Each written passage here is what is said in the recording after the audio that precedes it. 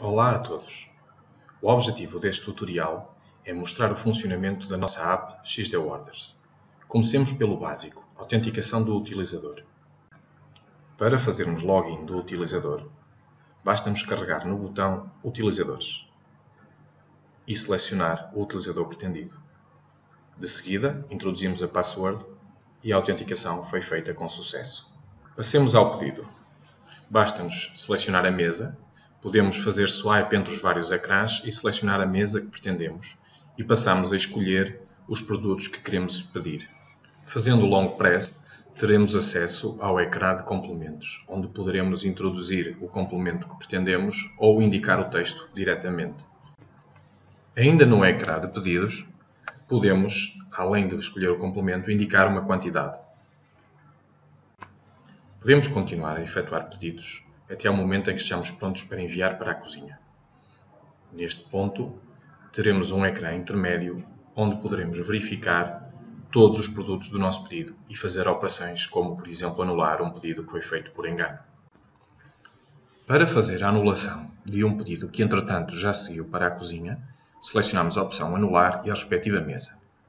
Depois, basta-nos selecionar o produto que pretendemos anular e enviá-lo novamente para a cozinha, como podem ver agora.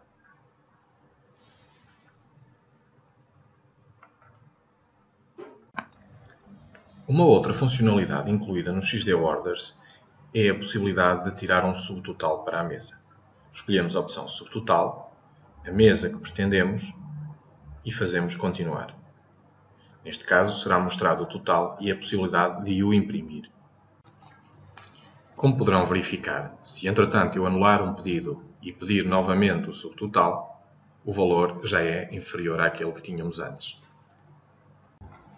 Agora demonstrarei a possibilidade que a app tem para trabalhar em modo offline, ou seja, podemos estar numa parte do nosso estabelecimento onde a rede wireless não chega.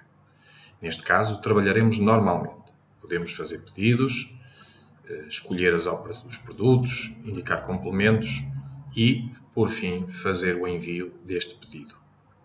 Como estamos em modo offline, neste caso, a aplicação dar-nos-á uma indicação de que não conseguiu enviar o nosso pedido. As operações efetuadas em modo offline ficam numa fila de espera. Assim, mal seja detectada a conexão wireless, esses pedidos serão enviados no momento.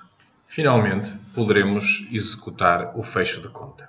Basta-nos selecionar a opção Fechar conta indicar a modalidade de pagamento e temos a nossa fatura a ser impressa na impressora de talões.